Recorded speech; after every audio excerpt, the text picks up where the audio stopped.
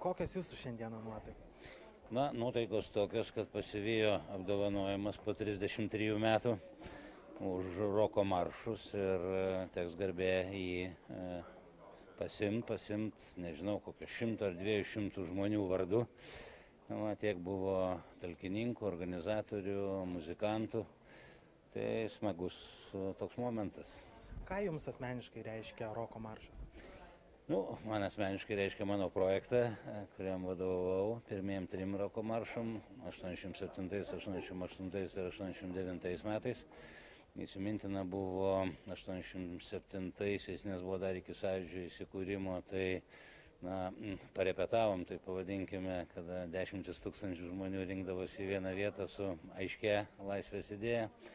Va, 88 metais tai na, išvežėm ir gal taip ir per drąsu sakyti, bet apvaisinom su trispalvę Lietuvą, nes Vilniuje jau buvo šmėkštelė, o dar kitur Lietuvoje kaip ir, kaip ir tokia pusiau tabu buvo.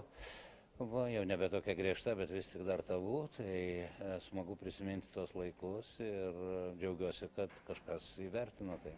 Jeigu reikėtų palyginti anuometinę muziką ar ne su šio laikinė, kokius skirtumus didžiausius matote?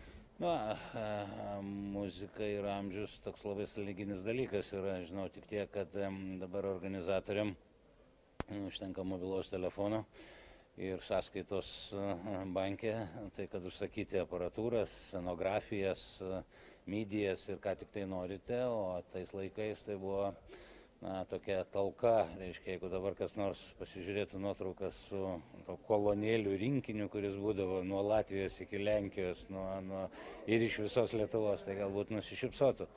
Tai buvo daugybė, daugybė organizacinių iššūkių, apie kuriuos dabartiniai organizatoriai paprasčiausiai net nežino, jau dabar kiti laikai. O kas tuomet buvo sunkiausia? Na, kai pradėjome 87 metais dar E, ne visi ir svajojo e, apie nepriklausomą Lietuvą e, ir buvo dar, na, tos perestroikos, vadinkime, vidurys ir, ir, ir Lietuva tik tai atbūdo ar pradėjo atbūsti ir, ir kaip ir um, visam SSR, Rusijoje tame skaičiu, taip ir Lietuvoje pradėjo atbūsti pirmieji roko muzikantai, kurie išlindo iš Rusių, kuriuose ilgus metus grojo arba nedidelėse salėse, nedidelėse erdvėse ir, ir na, sakykime taip, išsiveržė, ir, o paskui pasirodo ir, ir šitos idėjos buvo laisvės idėjos priimtinos ir daugiau žmonių. Tai galima sakyti, tai buvo irgi viena iš tokių krypčių irgi skleisti tą laisvę per roką, per... Na, roko muzika visada, tikroji roko muzika yra protesto muzika. Aišku, šio verslas turi tokią nuostabią savybę apglaistyti kampus ir komercializuoti bet kokią avangardą. Ir ar tai net būtų patys aštriausi e, na, pankroko atstovai, vėliau jie patenka į tokį mainstreamą, vadinkim, komercinį.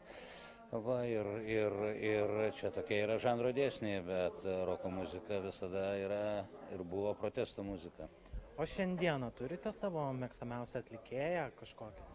Na, e, iš jaunų atlikėjų būtų sunku ką nu, jaunais pavadinti. Nes, pavyzdžiui, patinka Skais su savo, su savo muzika.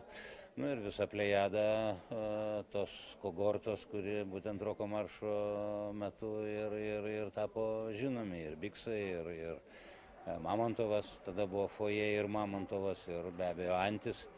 E, jie dabar jau savo karjerą nu, nutraukė, bet, bet Antijos ir Diavaros duetas, nu, toks originalus projektas, įspūdingas buvo jų koncerte.